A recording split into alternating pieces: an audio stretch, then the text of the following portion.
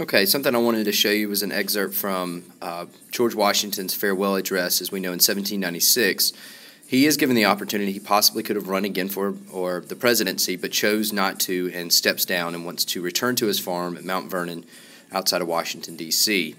Um, so, as a result of that, there's some major points that are made in this, but the two major points that you need to understand are that he basically talks about us getting involved in entangling alliances with foreign nations as being a young country, as well as how political parties can disrupt or divide the country. So, his wisdom is shown very well here. So, as it sees, as you can see in kind of the first line, the great rule of conduct for us in regard to foreign nations is in extending our commercial relations to have with them as little political connection as possible. So he's saying here, this point, we're seeing his development of the idea of foreign relations and starting to create alliances in the early phases of our country. And as we know, he did create um, and sign into law the Neutrality Proclamation, basically saying that America would not side with either Britain or France um, as things and events unfolded in Europe um, during the French Revolution.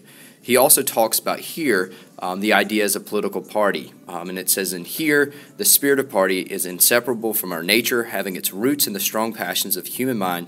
It exists under different shapes in all governments, more or less stifled, controlled, or repressed. So he says it's kind of natural, but he also says that it can become basically our worst enemy and that it can create factions and divide our country, and this is something that we do not need to do, and that it would basically create a permanent despotism.